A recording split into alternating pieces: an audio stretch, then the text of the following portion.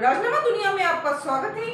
मैं प्रिया, आपके साथ। दिल्ली के मुख्यमंत्री अरविंद केजरीवाल की हफ़्ते में चार बार वकीलों से मिलने की मांग की याचिका पर सोमवार को दिल्ली हाई कोर्ट में सुनवाई हुई।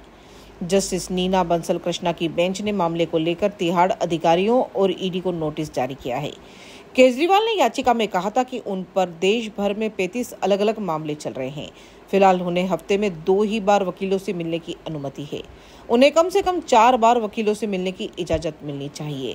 केजरीवाल ने जेल में दो अतिरिक्त मीटिंग की याचिका पहले ट्रायल कोर्ट में लगाई थी।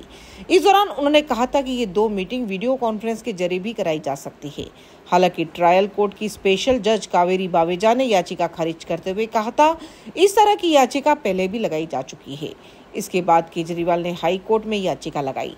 जिस पर जस्टिस नीना बंसल ने ईडी और जेल अधिकारियों को सात दिन में जवाब देने का आदेश सुनाया है।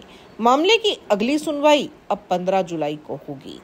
सीबीआई ने 25 जून को रात 9 बजे तिहाड़ जाकर शराब नीति में भ्रष्टाचार को लेकर केजरीवाल से पूछताछ की थी। इसके बाद 26 जून को गिरफ़्तार किया था। इससे पहले शराब नीति में मनी लॉन्ड्रिंग के आरोप में ईडी ने 21 मार्च को उन्हें गिरफ़्तार किया था। वे 10 मई से 2 जून यानी 21 दिन के लिए पेरोल पर थे। इसी के साथ बने रहिए राजनामा दुनिया के साथ। धन्यवाद।